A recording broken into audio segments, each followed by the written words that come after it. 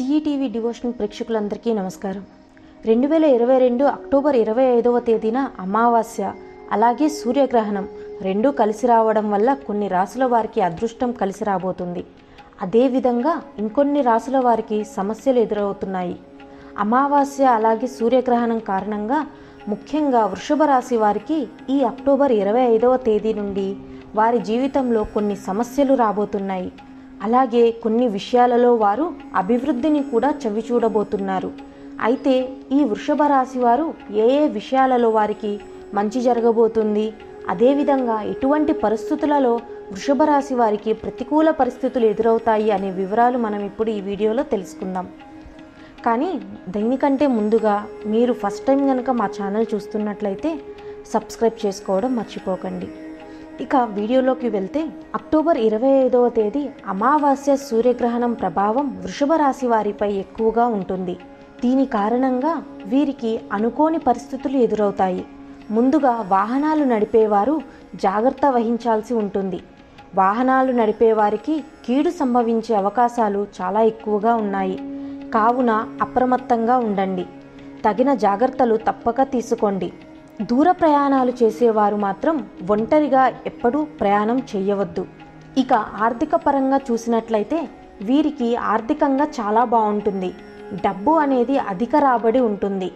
అదేవిధంగా ఖర్చులు కూడా అధికంగానే కనిపిస్తున్నాయి.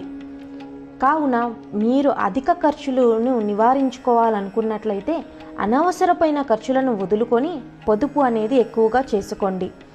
ఎందుకంటే మీకు ఈ అక్టోబర్ ఇరవై ఐదు తర్వాత ఆర్థిక పరంగా స్థిరంగా ఉండటం వల్ల మీకు ధన రాబడి అనేది ఎక్కువగా ఉంది. కావున మీరు పొదుపు చేసుకునే అవకాశాలు కూడా ఎక్కువగా కనిపిస్తున్నాయి.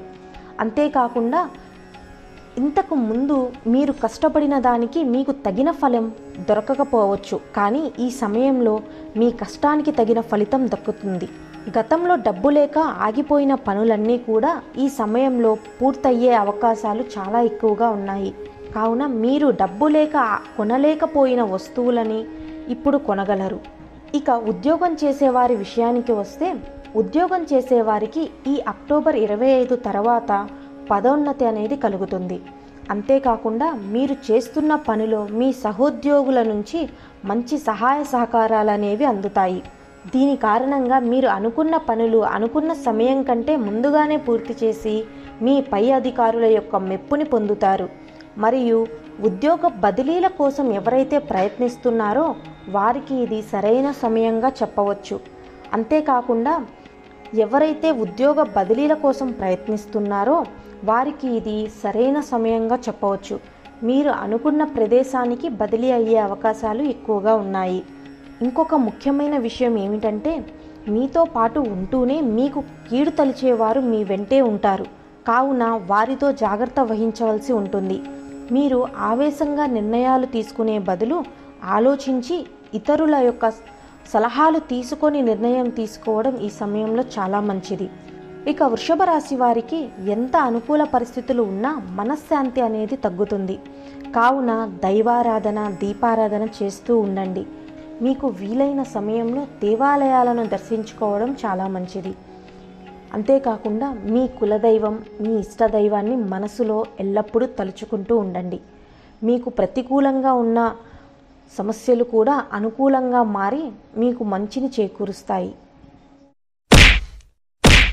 Like and subscribe